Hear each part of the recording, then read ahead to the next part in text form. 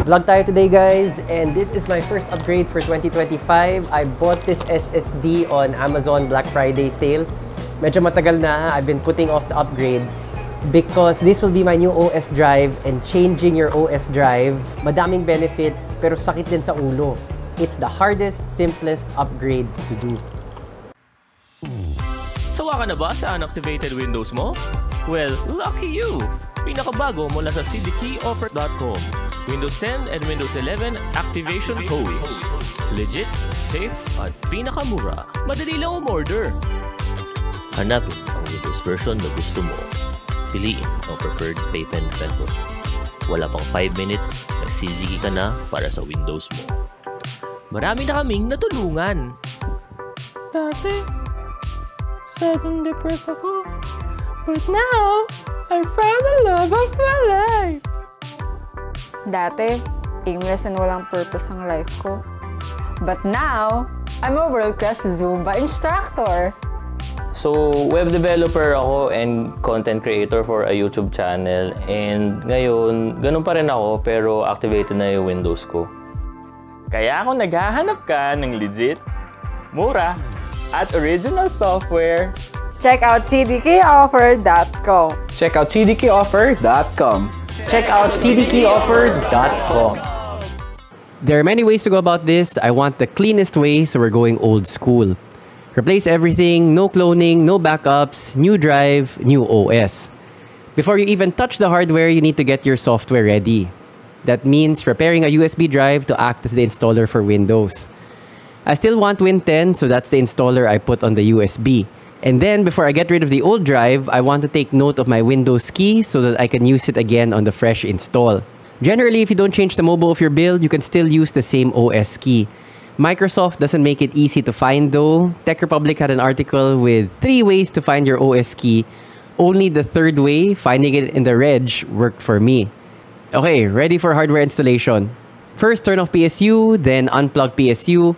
Touch metal on case to ground yourself. Now, I want to do the least amount of work necessary, so I want to disassemble the least amount of things. Sobrang tamad ko, I don't even want to lay the case flat. We'll install the drive with the case standing. I think I can get away with leaving the air cooler in place even though it is kind of in the way, medyo bulky siya, kaya naman ata. But the GPU definitely has to go, unplug all of the monitors in the back and the power connectors on the side of the GPU. I start working on trying to find the PCIe clip buried under the GPU and which my fat fingers just can't seem to find when I realize I made a rookie mistake. I forgot to remove the thumb screw which is keeping the GPU screwed in the back. Tanga. Okay, remove thumb screw and then find the PCIe release and then finally get that bulky GPU out of the way. We have a straight shot to the primary M.2 slot. Most mobos have at least two M.2 slots and you can place a drive in any or all, but the primary one is usually the fastest one in terms of transfer speeds, so when in doubt, use the primary slot. The screw keeping the heatsink in place is a bit tiny. Screwdriver with magnetized tips really helps here. Get the heat shield off and then remove the old M.2 drive. We'll be using it again in the shop. The old drive is from Team Group. In my experience, Team Group is quality and cheaper than other well-known brands. I've used Team Group in my own rig for a long time and we've sold a lot in the shop.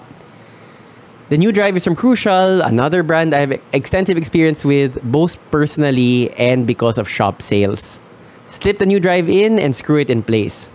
Before I close up though, I have to do some spring cleaning. The new drive is 4 terabytes, so I am removing two old drives from my system. My 512GB OS NVMe drive and a 1TB SATA SSD drive which I was using for games. So now I'll open up the case from the back to remove the old SATA SSD drive which the shop also needs. Much trouble. Wow.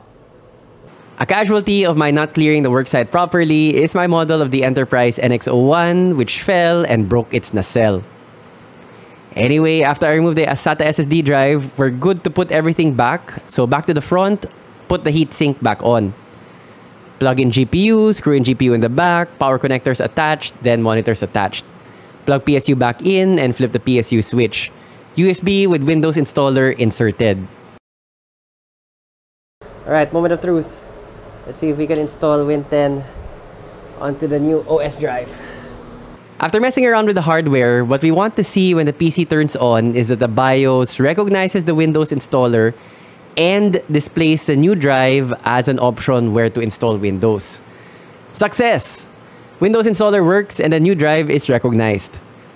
Aside from the BIOS choosing to display on the vertical monitor, there are four monitors and it has to choose the one monitor which is in vertical. Everything should be smooth sailing from here. Windows installs without a problem and one of the first things I do after Windows is good to go is go to Ninite. This is a free service which lists commonly used applications and then bundles them together in one installer. So instead of having to download Notepad++ and Firefox and all of my other commonly used programs individually, I just need to download one file. Neat and fast. And for all the trouble of finding out my Windows key before I removed my old drive, since I logged onto my Microsoft account, the Windows key is already there. The Windows on my new OS is now fully activated with the old key. I didn't need to go through all that trouble since naka-login na pala through the Microsoft account. Something I also forgot when we started this thing. So all of that was a couple of days ago and I've been spending my time getting the OS back the way I like it. Medyo mabusisi kasi also Windows. I have a lot of these little programs and little shortcuts. You know, the things that you do to optimize your system para talagang sakto dun sa use case mo. If I wasn't so OC, there was an easier way to do everything. Usually, you can clone your drive. You have your old drive, you copy everything about it onto the new drive, and then yun yung ipapasok mo. We can do that for you at Hardware Sugar, and it's usually successful as long as there's no problem with the old drive. Personally though, I always think that a fresh install, a clean install, is better. Kasi basically, if there are any problems dun sa lumang Windows, may registration problems na, or basta these little quirks of drivers or whatever, nandun na yun sa old Windows mo. Kung clean-own mo yun, then lalabas din yun sa bagong, bagong Windows or the old Windows which you put onto the new drive. Anyway, I figure I do this only once every three years or so might as well do a fresh install of Windows, go through the hassle of setting up Windows just the way you like it again, kung once every three years lang naman. But that's a great thing about computers. There are so many ways to go about it. Yung objective, get a new OS drive. But do you want to clone your old OS? Do you want to go the new OS clean install version? Or maybe you just want the old files transferred onto the new drive but clean install talaga of Windows. Yun yan, daming permutations. And that's the great thing about computers. You can really set them to the way you like them, especially kung medyo OC ka like me. Seems like a simple upgrade, but there are a lot of things you should do beforehand. There are different ways to go about the update or the upgrade. At the end of the day, I'm just thankful that everything seems to have worked out. So I have a new OS drive where I'm also going to put my games. So M.2 NVMe, the fastest type of storage available. Plus, I have a lot more space now since from 512 gigabytes, naging 4 terabytes siya.